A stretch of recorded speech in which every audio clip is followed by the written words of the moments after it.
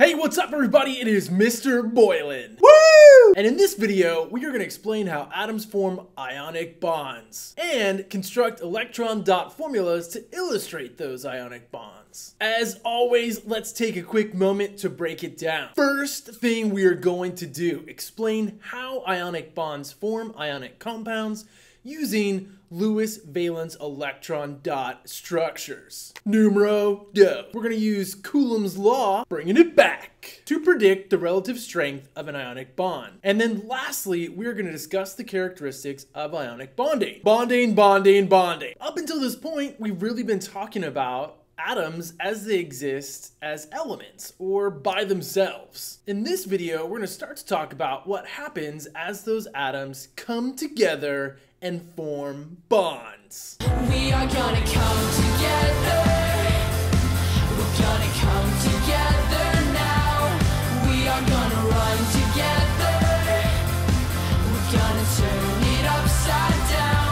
And as you take a look at your screen, essentially what is happening right there is the illustration of an ionic bond. I am so excited to learn more about this animation. Okay, so first, what the heck is a chemical bond? It is just a mutual electrical attraction between the positive charges in the nucleus and the negative charges in the valence level of different atoms that binds the atoms together. And it's important to note that these bonds tend to form so that each atom, by gaining, losing, or sharing electrons, has an octet of electrons in its valence level. And it turns out that that resulting arrangement of having a complete valence level reduces the overall potential energy of the system. And I think we can both agree that using less energy is a good thing. I like to use as little energy as possible. So as you take a look at the thrilling animation that is going to repeat itself on your screen, we're going to start off with a neutral atom of sodium and a neutral atom of chlorine. We put some energy in to remove the electron from the sodium atom. Some energy is released when that electron is gained by the chlorine atom, and then overall the energy of the system is reduced when they come together to form that bond. Now there are several different types of bonds. In this video, we're going to focus on ionic bonding, which is the electrical attraction that occurs between oppositely charged ions. Okay, so as you take a look at your screen, you've got an animation that's going to repeat over and over that sort of gives you a general overview of what's happening in an ionic bond. Essentially, you have two neutral atoms that form ions, and then those oppositely charged ions form a bond. Now, a couple of important vocabulary words before we move forward. Recognize that an atom that loses an electron to form a positive ion is called a cation, and it's generally your metals that typically lose electrons. And as you think about why, and going back to the CVR periodic table, Recall that your metals will typically lose their valence electrons because they have relatively low or unattractive core charges. So as I come back to this animation, recognize that it's the sodium atom, the metal, that is losing the electron to form the positive ion or cation. A second important vocabulary word, anion. These are atoms that gain electrons to form negative ions, and typically it's your nonmetals that will gain electrons. Again, as you come back to the CVR model of the periodic table, recognize that your nonmetals will generally gain electrons because they have relatively high or attractive effective core charges. So as I come back to this animation, recognize here that it's the chlorine atom, or the non-metal, that's gaining the electrons to form the anion, or negatively charged ion, after it has gained an electron. It's also important to recognize that ionic bonds can form between both monatomic and polyatomic ions. So not only when individual elements gain or lose electrons, like what we're observing here in this animation between sodium and chlorine, but ionic bonds can also form between those polyatomic ions, for example, between ammonium and nitrate. And hopefully at this point, you're a little bit familiar with some of those polyatomic ions. Now, super important to recognize that the ions in ionic compounds exist in a ratio so that the overall charge of a compound is neutral. And for ionic compounds, we say that a formula unit represents the smallest ratio of ions that give us an overall neutral charge.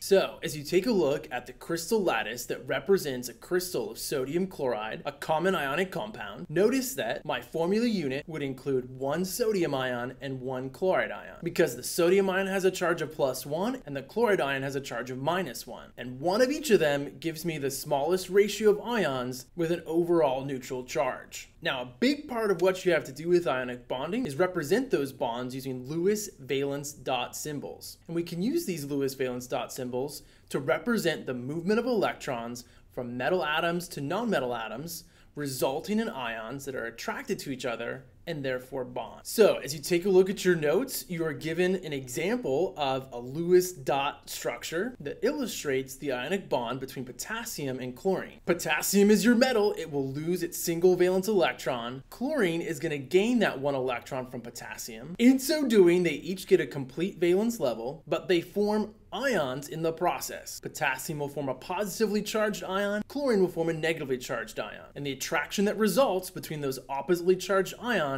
is your ionic bond. Note that many times we include brackets around our negatively charged ions to help indicate that it is in fact the ion. Also important, include those charges to let us know how many electrons have been gained or lost. Here's another thrilling example. Take a moment, pause the video, check it out, see what's happening here we've got an atom of magnesium and two atoms of fluorine. In this case, that one atom of magnesium is going to lose both of its valence electrons, one to each of the atoms of fluorine. Your magnesium ion forms a charge of 2 plus, and each fluorine atom forms an ion of 1 minus. As you think about why the ratio here is 1 to 1 and why the ratio here is 1 to 2, again keep in mind that our goal is to form compounds with an overall neutral charge. Now, an important note about ions as they come together to form ionic compounds. They're going to arrange themselves in such a fashion to reduce their overall potential energy. And this arrangement for ionic compounds is described as a crystal lattice. Boom, crystal lattice. And essentially, it's this arrangement in the crystal lattice that maximizes the electrostatic attraction for the cations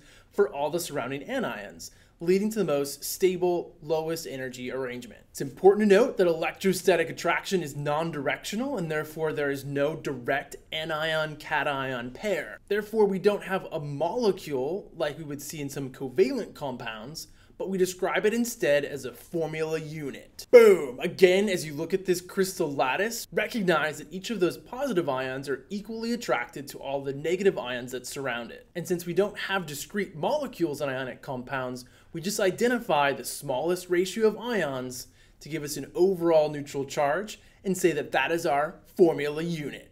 Okay, we're gonna throw back here to one of my all-time favorite laws, and that's Coulomb's law. We can use Coulomb's law to help us predict the relative strengths of the resulting ionic bonds. So remember that the force or energy of attraction between charged particles is inversely proportional to the distance between those charges. In other words, as the distance decreases, the energy increases.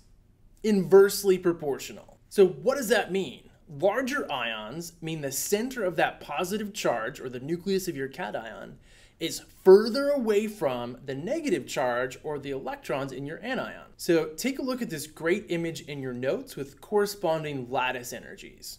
Now, don't get thrown off by the negative signs in front of those lattice energies. Those values simply indicate the energy released as gaseous ions come together to form the solid crystal lattice. As you take a look at those examples, notice that each ionic compound is made up of a cation that has a positive one charge and an anion that has a negative one charge. Notice that the closer that those ions get to one another, the greater the lattice energy and therefore stronger the ionic bond between those ions. Also keep in mind that the force or energy of attraction between oppositely charged particles is directly proportional to the product of the charges. So as those as the magnitude of those charges gets larger, the energy of attraction also will increase. So the greater the charge means those ions are more strongly attracted.